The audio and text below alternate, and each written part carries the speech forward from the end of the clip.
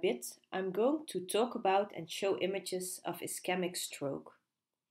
Stroke is the second cause of death worldwide, and if you survive, there is a 50% chance of having disability after stroke.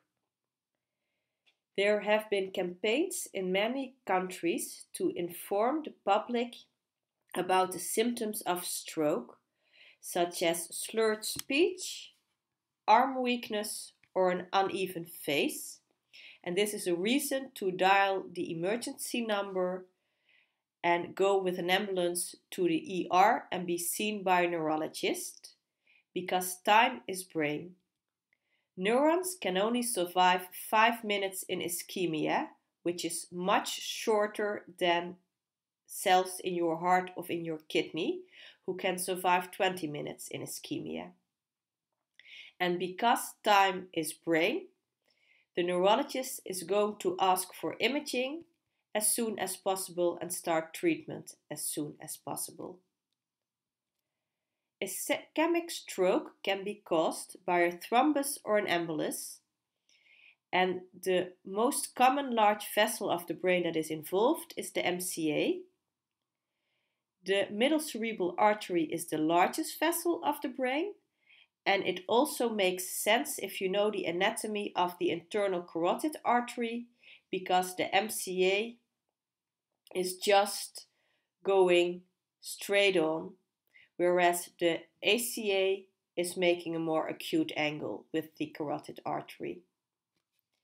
The risk factors for stroke are age and cardiovascular risk factors. And for me, stroke is more a vascular disease with neurological consequences than a purely neurological disease. Imaging in stroke was simple when I started doing radiology 20 years ago because the only treatment option there was was intravenous thrombolysis with a three hour window.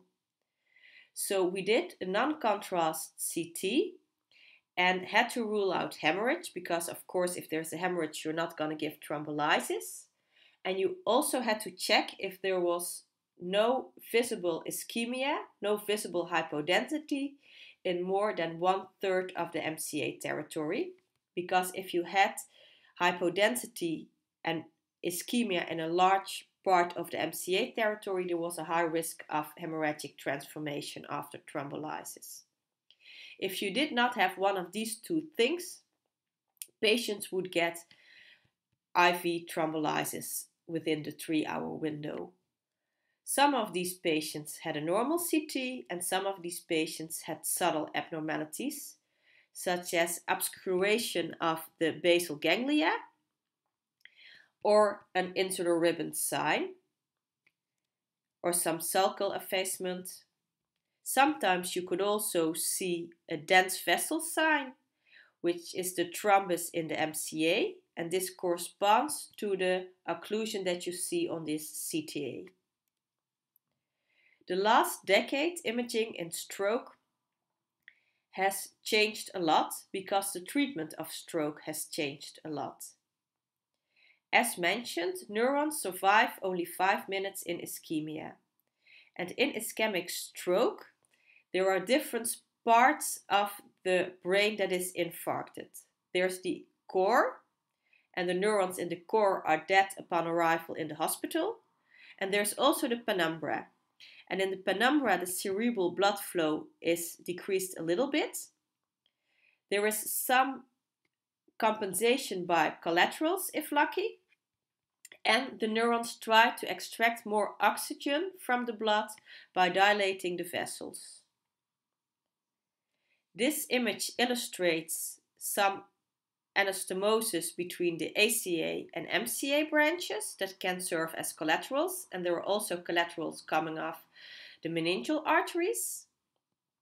And it also illustrates that the central artery and the angular artery, these M4 branches, are small arteries that cannot be reached for endovascular treatment. You can only get in the main stem of the MCA endovascular. The penumbra is salvageable, but it can become part of the infarction if the vessel occlusion persists.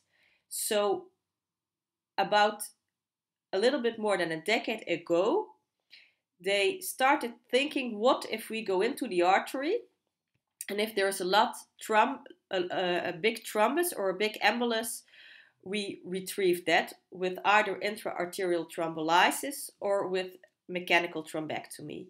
And one of the large studies was done in the Netherlands. It was a multi-center study focusing on the anterior circulation in 500 patients, and they were randomized into getting the um, IV thrombolysis that was state of the art at that time, or having intra-arterial thrombolysis or thrombectomy as well. And they concluded that intra-arterial treatment was effective and safe if done within six hours. And this was a big game changer. So, besides an intravenous window of three hours, we now also have an intra-arterial window of six hours. And when we do imaging in stroke nowadays, there's a non contrast CT. If there's no hemorrhage, the neurologist can give the intravenous thrombolysis already. And then there's CT perfusion and CT angiography. The CT perfusion is to determine the core and the penumbra of the infarction, and the CT angiography is to determine the location of the occlusion for the interventional radiologist.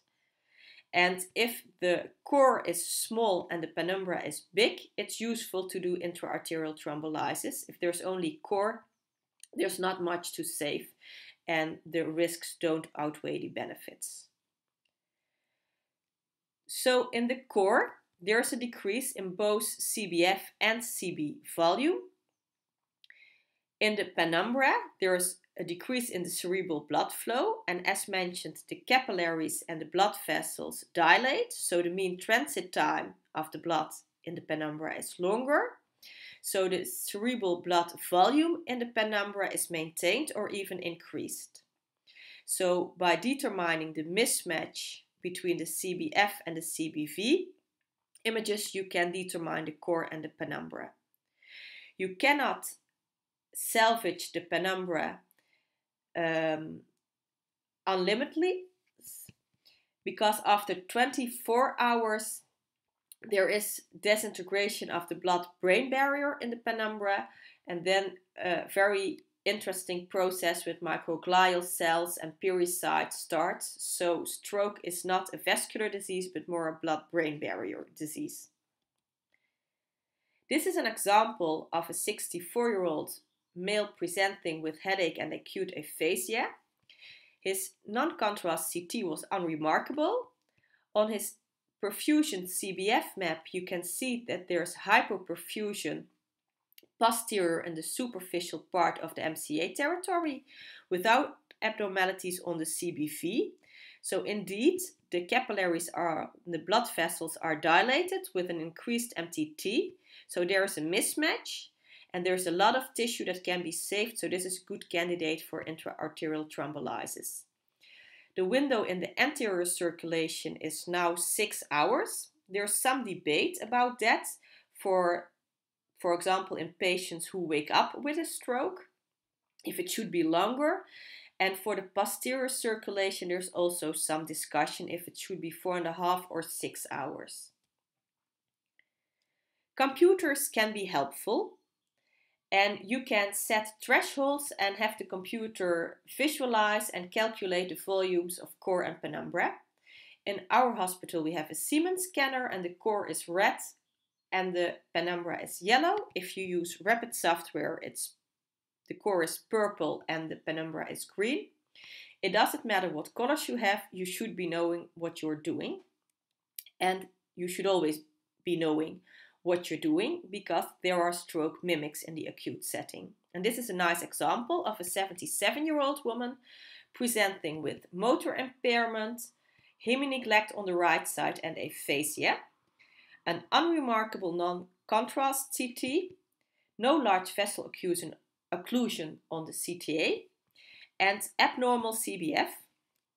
And the neurologists in my hospital are very good, and if you're watching as a neurologist, you're probably frowning already because the right sided symptoms and the aphasia point to the left hemisphere.